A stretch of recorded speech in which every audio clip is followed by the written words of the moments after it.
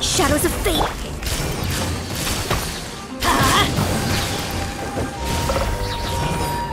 I'm going in. Written in the stars.